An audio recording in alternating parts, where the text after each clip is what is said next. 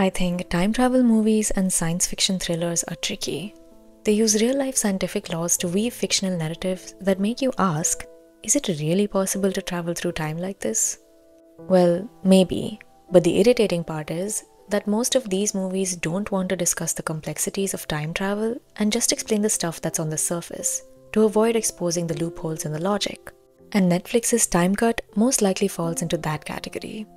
Before we continue, a spoiler alert as we will be discussing essential plot points and character details from Time Cut. If you've watched it already, let's dive straight into the video.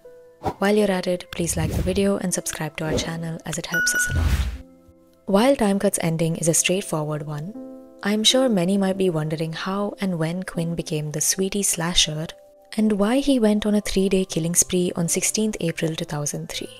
So, without further ado, let's explore it. Why did adult Quinn kill Summer? So, first things first, Quinn was a boy genius at Sweetly High School who, being a nerd, was often bullied by his seniors. However, things went out of hand when some of his friends, including Brian Palmer and Ethan, threw Quinn into the river as a part of the high school's bullying ritual. In that really embarrassing moment, Quinn saw his high school crush Summer Field laughing at him, and that really hurt him. I'm sure he still took the matter lightly, and that was the reason why he wrote the most cheesy love letter to Summer, which she refused to accept because she wasn't into boys and was in love with a girl in her class named Emmy Golden. But Quinn wasn't the kind of guy who took rejection lightly. He decided to take revenge on everyone who'd humiliated him and rejected him in school. Some years later, an adult Quinn created a time travel machine, and instead of using it for the betterment of humanity, he used it to kill the girl in school who refused to become his girlfriend. Yikes. I'm sure Quinn wasn't aware of the real reason why Summer rejected his proposal, although I doubt that things would have gone differently even if he knew. Blinded by his pursuit for revenge, he never bothered to find out either. In the original reality, I believe Summer never came out as a lesbian, and things between her and Emmy didn't really work out. She might have led a normal life and married a guy because she was too afraid of what people would think about her sexual orientation. In the new reality, it was her sister Lucy who gave her the courage and convinced her to confess her feelings to Emmy in public. When did adult Quinn travel to 2003? I guess an adult Quinn used the time travel machine on 18th April 2024, the same day on which Lucy visited the location where her sister Summer was killed.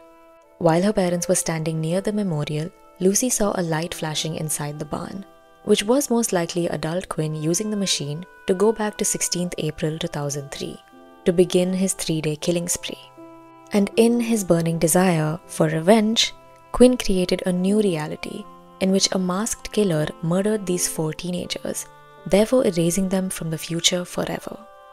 I think the reason why an adult Quinn decided to kill Summer and her friends after the river incident was because he wanted his young self to feel the humiliation and embarrassment that he had gone through, which would ultimately compel him to do great things in life, like creating something as groundbreaking as a time machine. But Lucy's arrival in 2003 messed everything up. She not only saved Quinn from being bullied by his seniors, but also changed his perspective towards life which helped him become a better version of himself. Quinn's keen interest in science and his fascination for the time machine did point towards the fact that he would create something like that in the future. And now that he doesn't need to become a serial killer, he will certainly use his talent for something better. How did Lucy change the future? As soon as Lucy ended up in 2003, she decided to solve the mystery of her sister's death and catch the Sweetly slasher.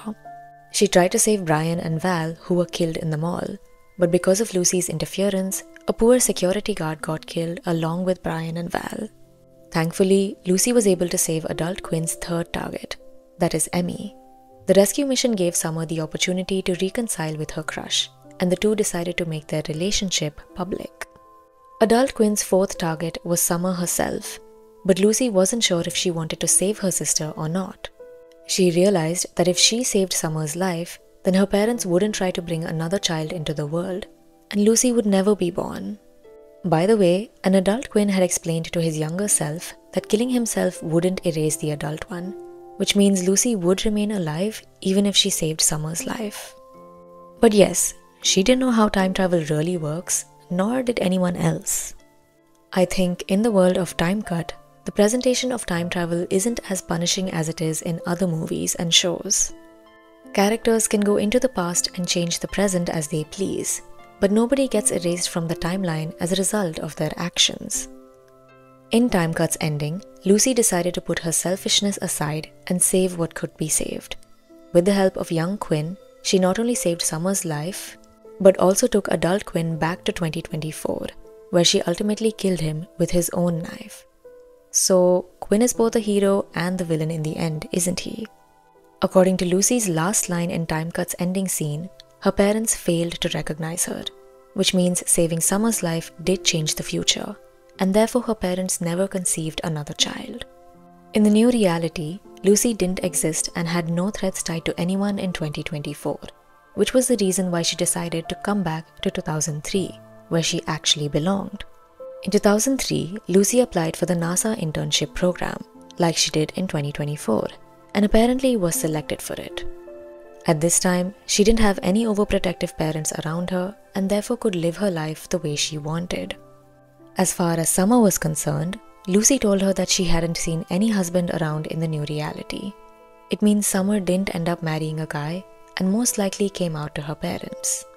In short, just like Lucy, Summer too decided to spend the rest of her life on her own terms, and she may even end up marrying Emmy in the future. Will Quinn become the new Sweetly slasher again? Well, I guess he won't. Time Cut made us believe that the river incident and Summer rejecting Quinn's proposal was a turning point in Quinn's life. That ultimately turned him into a villain. But in the new reality, both of these events never took place. Lucy stood up for Quinn and stopped Brian and Ethan from throwing Quinn into the river. While Quinn never gave his love letter to Summer because Lucy might have told him about what was going on between Summer and Emmy. I guess earlier Quinn believed that Summer rejected him for Ethan, but that doesn't seem to be the case in the new reality. Hence, it would be safe to assume that Quinn won't turn into a slasher like before and would be more considerate towards others. And this may sound like a reach, but I think Lucy and Quinn make a great pair. The first time Lucy met Quinn, she was quite intrigued by his intelligence so you never know. Wrapping up, I have tried to keep it as simple as I can, but I'm sure many of you might still have a few questions in mind, so feel free to drop them in the comment box and I'll be happy to discuss the film with you. Thank you for watching this video and please hit the like button and subscribe to our channel to get your daily dose of cinema and series. See you in the next video. For the time being, we're signing off. Bye.